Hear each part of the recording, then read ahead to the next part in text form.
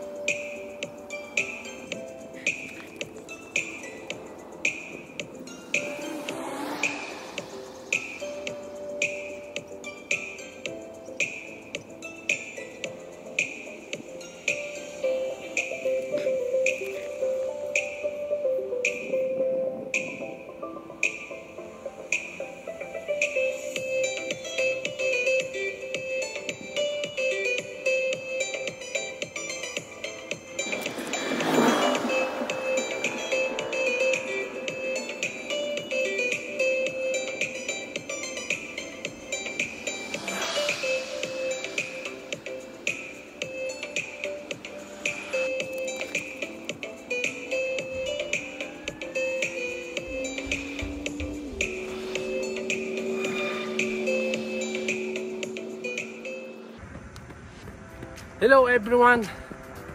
I'm back. Bigyan ko lang po kayo ng update. Nandito na po ako sa Nexton Parkway. Papunta po tayong uh, or uh, Dorchester County. Okay? Uh, subukan po natin uh, makabalik doon sa may uh, Lacareta. Maganda po doon kahit marami pong sasakyan are safe kasi meron pong sidewalk. Tulad po dito sa Nexton Parkway. Okay. Sana po ay marami kayong natututunan. At tandaan nyo po yung mga pinapakita ko. At dahil yung po ay baka itanong ko sa aking LS tulad po nung isang araw yung po pong puno May nanalo po si Miss Florin Mendoza na tama po ang bola niya sa Palmetto. Palmetto po 3. National 3 po ng South Carolina. Okay, so galingan nyo po. Watch and learn. Salamat po sa suporta. Update ko po kayo maya-maya muli. Alright. Thank you. Bye.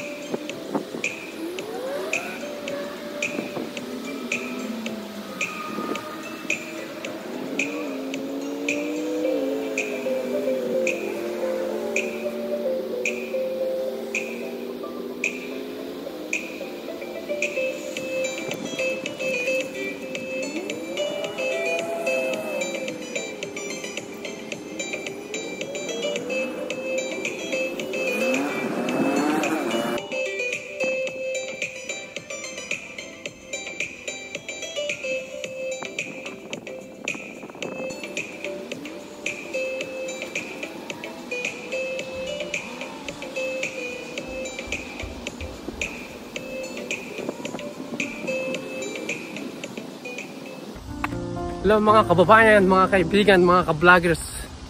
Bigbigyan ko lang po kayo ng update. Narito na po tayo sa Sawmill Village. Laling na po tayo dito, pinsan Okay, isang stop na lang po At naroon na po tayo sa Dorchester Village. Nandun yung uh, uh, nakareta. Okay, isang stop na lang po. Siguro mga Ewan ko, 40 minutes. I don't know So, ito po ang update. So, abangan niyo po ako. Okay. I will see you in a little bit.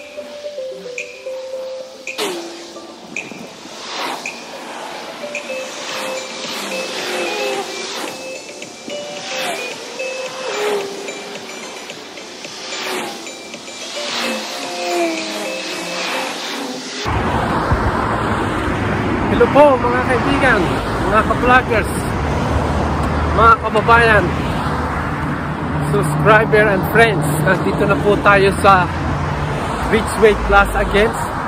Pero dito po tayo magpapahinga sa, halak, sa harap ng Publix. Okay. So hanap lang po ako ng medyo malilim. At uh, kwentuhan muna tayo. Okay, so nandito na po tayo sa may Lacareta Publix Ridgeway Plaza. Saglit lang po. Hanap po ako ng medyo malilim na lugar.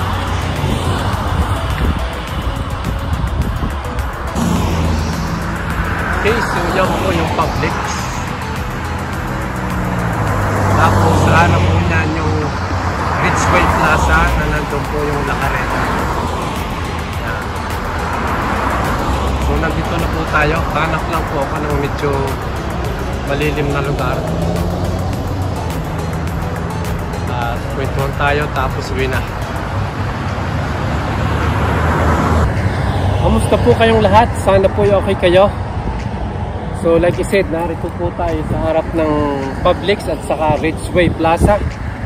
Pahinga po tayo. See, pawisan-pawisan po ako. Inom po tayo ng cold water. Yan. Hydration water at saka may dala po ako saging. Para hindi po tayo magutom sa daan. Ito po ay punong-puno ng potassium. Magaling po ito pagka tumatakbo.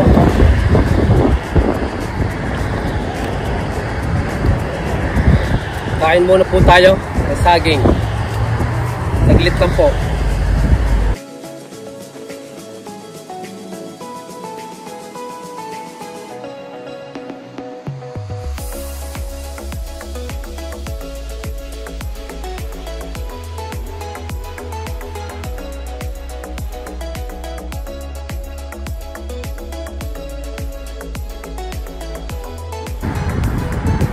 Okay, tapos na po tayong kumain. So, kwentuhan po tayo. So, yun po.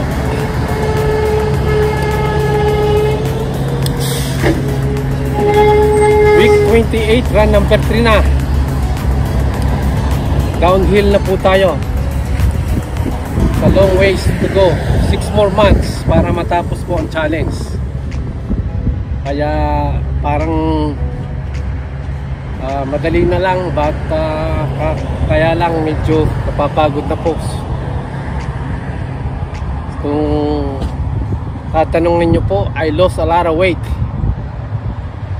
Mula nung nagsimula hanggang ngayon. Pero okay lang po sana ay sumali po kayo sa 30 mile run challenge. Meron na lang po tayong 5 weeks to go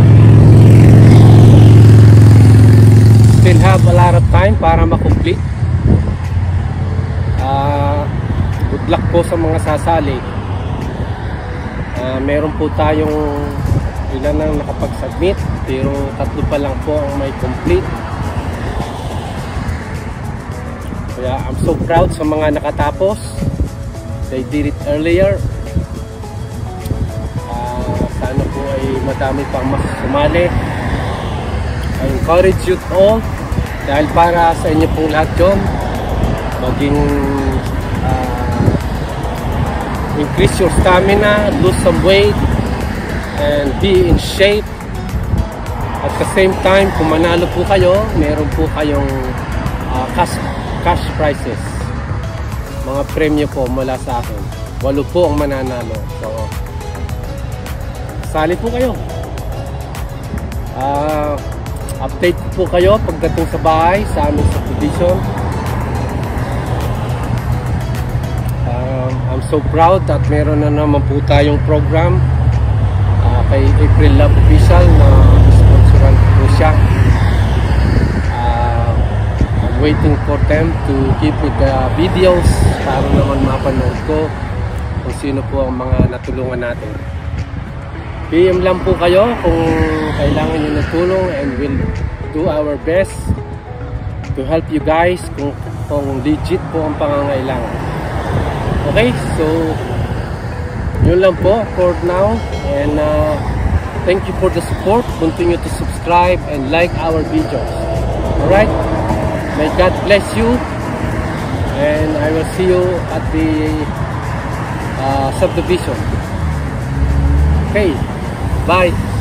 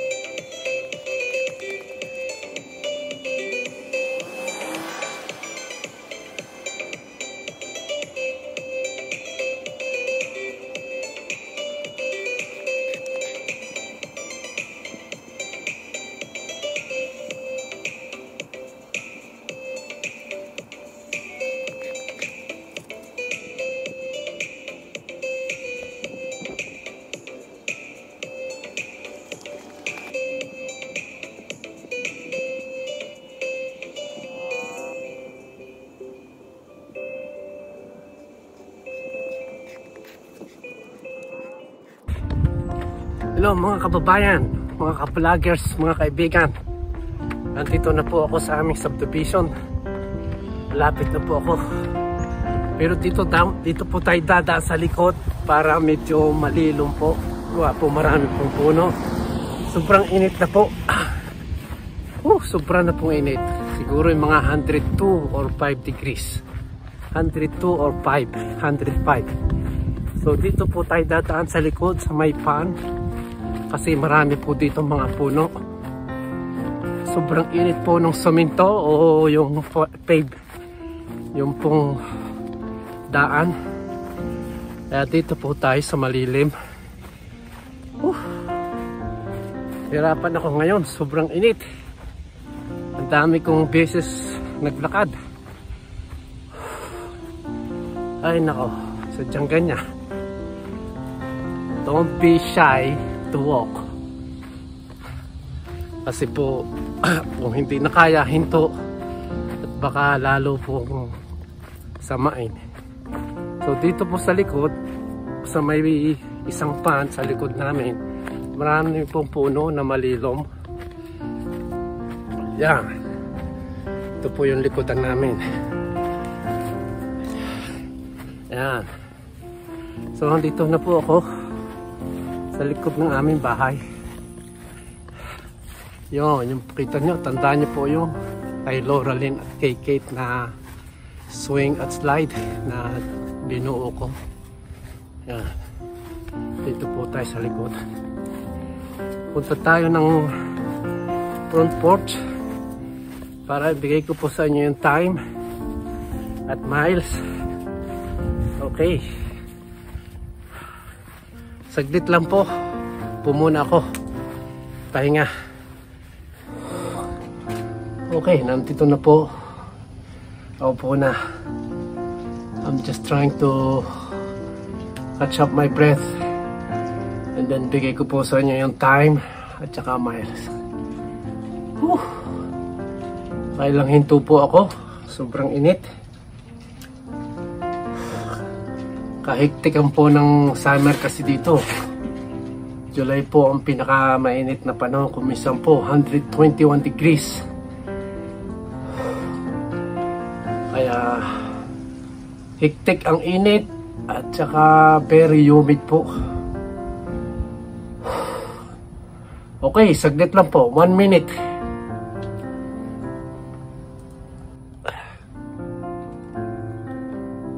So ito na po, Strava.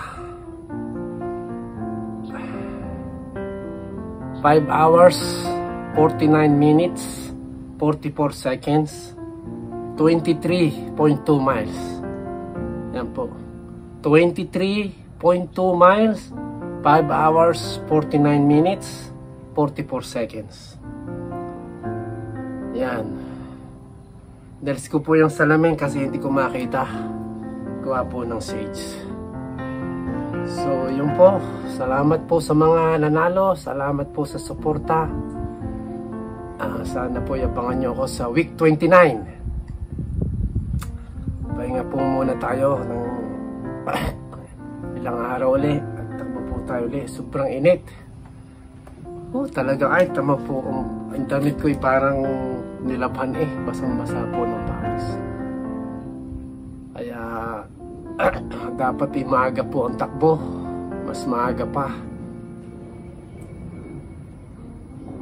At nang hindi po sangting ang init alright. Sana po ay patuloy lang kayong sumuporta sa akin. Subscribe, like and share at saka accept the challenge. 30 mile run challenge. You still have a lot of time. Okay, good luck po sa inyo and may God bless you